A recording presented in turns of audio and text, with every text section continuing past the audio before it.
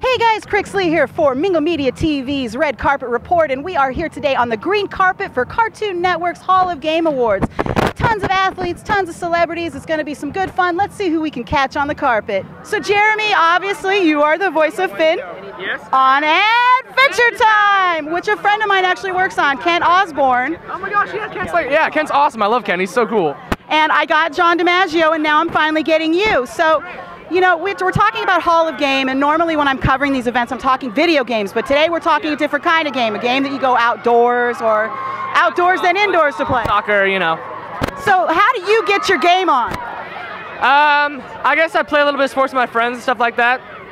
You know. I know, just the usual, I guess. I don't know. And uh, so, you know, when you're looking at Cartoon Network and all the cool stuff that goes on, how does it feel to work with someone like DiMaggio, who's really well known as Bender? Oh my gosh, it, it's awesome. I mean, like, we have a ton of great uh, people on our show, voice actors. We have John DiMaggio, obviously, he plays Jake. Uh, Tom Kenny, who plays the Ice King, who also plays SpongeBob on uh, Nickelodeon. And then we have, like, D. Bradley Baker. Um, we have tons of awesome guest people. It's a great time. It's like uh, weekly, I'm just there with, like, the best uh, voice actors in the business, just learning from them. I've learned a lot from them. It's a good time.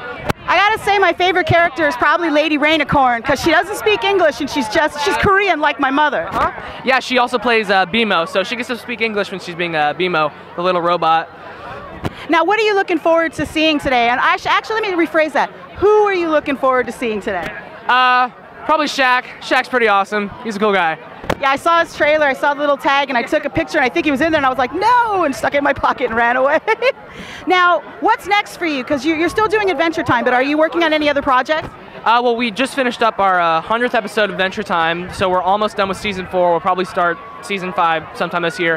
And uh, I have a couple things coming up. I can't really say anything about them. But yeah, there's some stuff coming up, so. So, Secret Squirrel. Yeah, so secret.